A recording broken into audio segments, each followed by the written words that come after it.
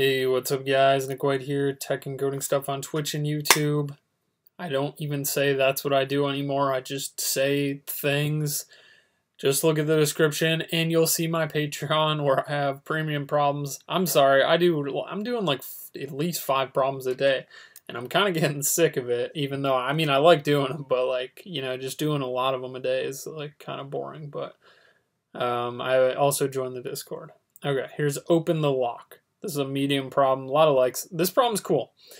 Um, it's a cool BFS one. Um, let's look at it and see why it is BFS. When I say BFS, I mean breadth first search. But um, here we go. You have a lock in front of you with four circular wheels. So if you guys remember those old-fashioned locks where you have like four digits and you spin the number to open, like uh, not like a combination lock where you spin it, but like a really old school one, like you know, like with the the it looks like a combination lock but no spinner. And on the bottom there's those four numbers you spin and it's like 0 through 9 so each wheel has 10 slots 0 1 2 3 4 5 6 7 8 9 the wheels can rotate freely and wrap around. For example we can turn 9 to 0 so you could spin it either way or 0 to 9 so you can go 1 2 3 5 6 7 8 9 and then the next number would be 0 and you can go backwards too.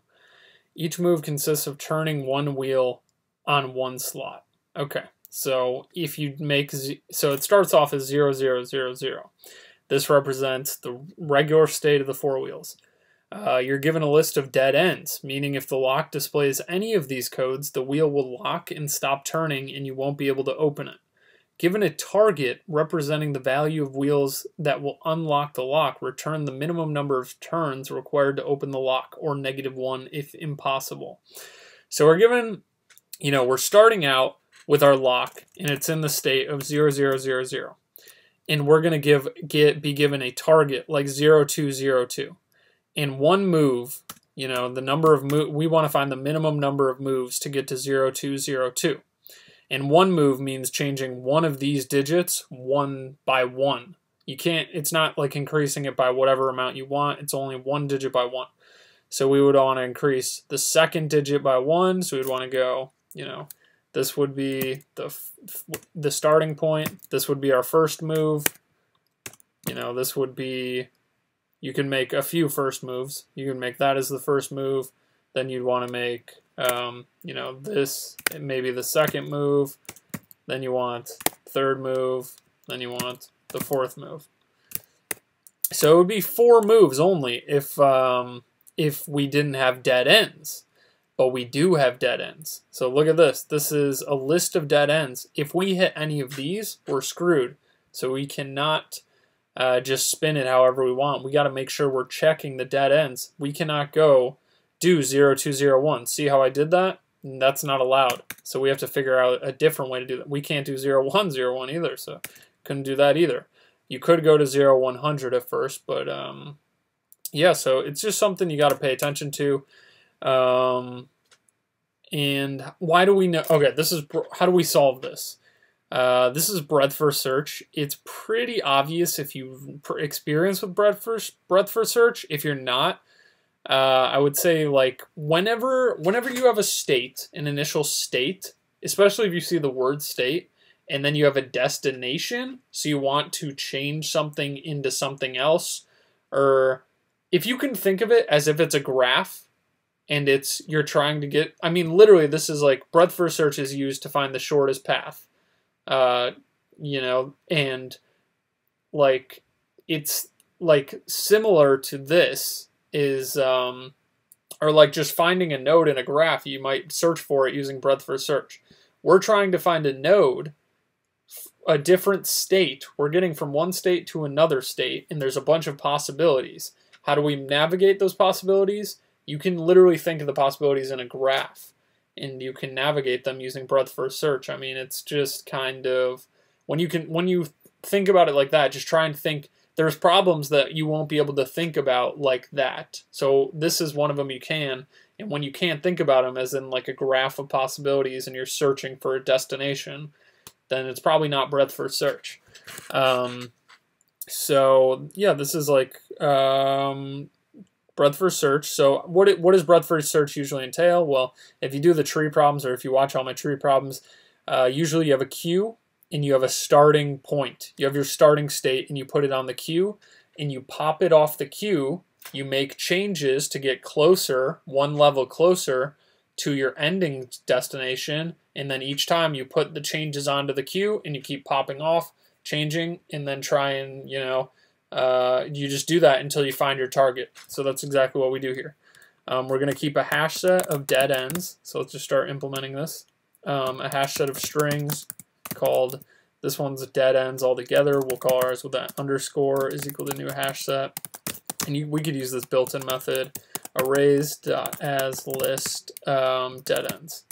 And you could do that, or you could go through and loop through all these and then add them to the hash set, do whatever you want, but that's what I'm doing. So we have this dead ends hash set containing our dead ends, so we can do constant lookups. We're also going to have a hash set of visited nodes. These are going to be visited strings. Um, and the first one we visit is 0000. So we'll add that onto there. And now we also need our queue. Breadth first search, almost always using a queue, right? Um, queue strings, we could just call it Q. Whatever you, you can call it posi lock positions or whatever you want. Um, so there we go. Um, and then we'll add to our queue our initial position. So there we go. Now this is the main loop for breadth first search usually. Queue, while the queue is not empty, we pop off the queue, we do something, and then we put more the next level of results on the queue later. Um, we're going to use the variable level to keep track of you know each level in the breadth first search and how many moves we're making. Um, so yeah, that's pretty much it. So let's get the size of the queue.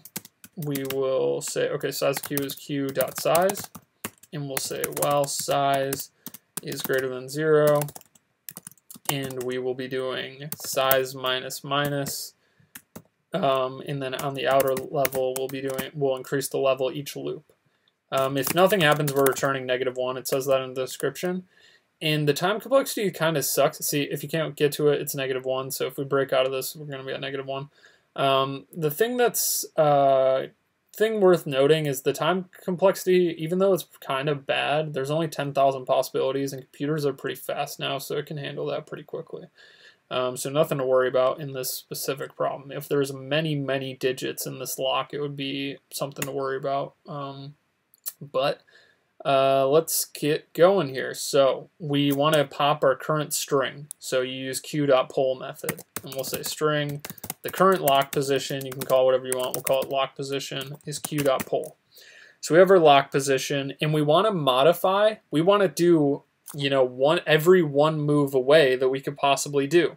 Uh, and then put all those on the queue, pop them off, and then each, then we'll do, you know, every possible um, first move we can make, we'll put on the queue, keep popping them off. Then every possible second move we can make, and we just have to make sure the whole time that it's not um, a dead node. If it's if it's in dead ends, then we're screwed. So we just uh, will uh, skip it, and if we break out, we're gonna be screwed. So if dead ends dot contains lock position, that means it's a bad one.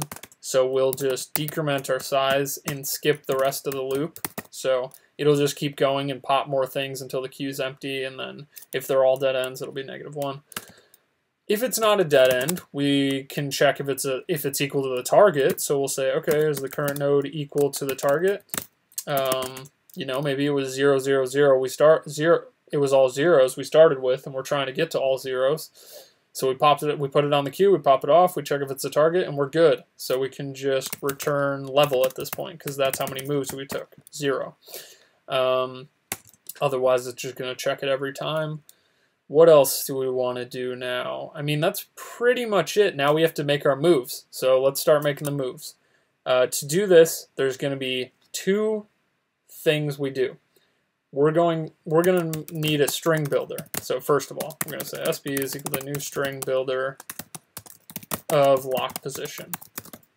And um, we're going to be looping up to the four digits. And what we're going to do is we're going to increment each digit by one, and we're going to decrement each digit by one, because that's every possible move. We're going to construct those strings put them all on the queue if they haven't been visited and they're not dead ends. Yeah, that's pretty much it. So, um, well, just loop now. We'll do uh, less than um, 4. Yeah, that's the number of digits.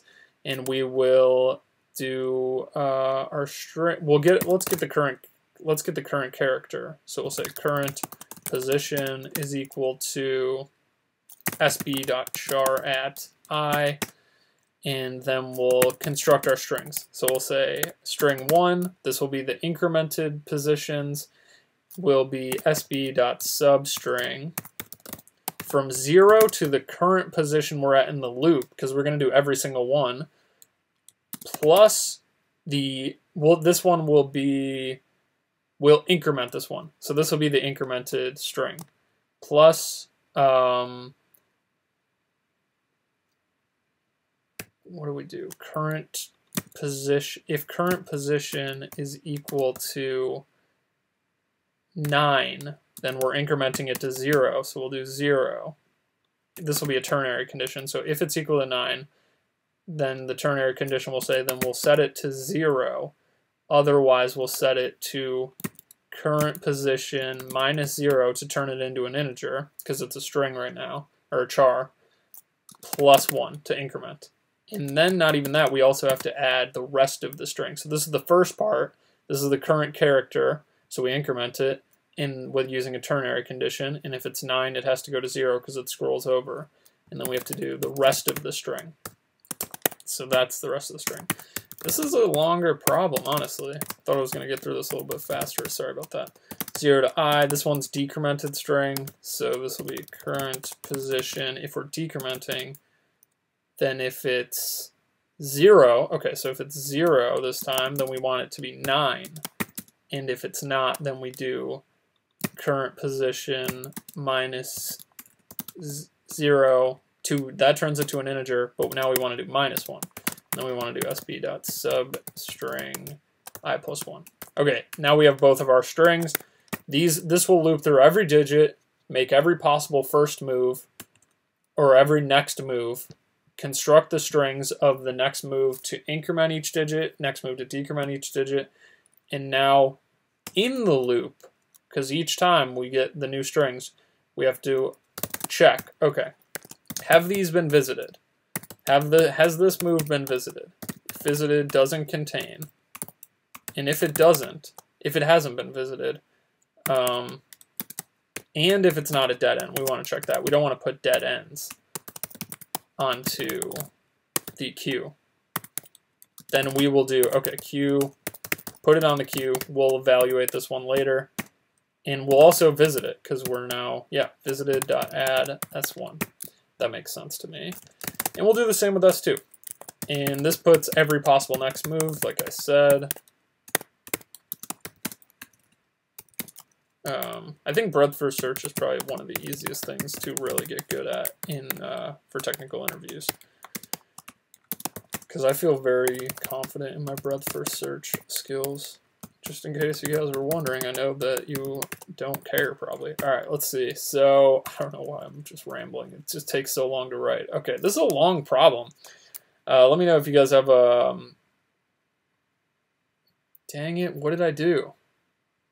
Hold on size minus minus level plus plus. S2, S2, S2, S2. We're popping off of the queue each time. Yes. We're adding onto the queue for each iteration. We're doing the substrings. We're incrementing the one, we're decrementing the other. They look good to me. We're getting a negative one for some reason. Why? Why are we getting a negative one? Holy crap, I literally just did. This is so stupid. I freaking ran into this a second ago. Alright, sorry guys. You, for string equality, you can't do lock position. Check if the lock position, if you you can't check the current position of the lock, like the current thing off the queue is equal to target. You have to do if lock position dot equals target. I don't know. I, I think I do that because of uh, JavaScript. I do. I'm a JavaScript developer, so. Uh, all right. Well, another another video almost error free, but there you go. That's it. Um, that was a BFS solution. Let me know if you have a better one. I mean, I'm looking at this solution, and it looks pretty complicated as well. So I don't see anything better. But um, time complexity in space sucks. But let me know what you guys think. Let me know if you have any questions about breadth first search. Um, thank you guys for watching, though, and uh, I really appreciate it. So I'll see you guys in the next video.